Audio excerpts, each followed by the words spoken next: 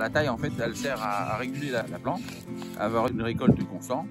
pas qu'il y ait trop de raisin ou peu de raisin, et, et avoir toujours du bois à fruits tous les ans.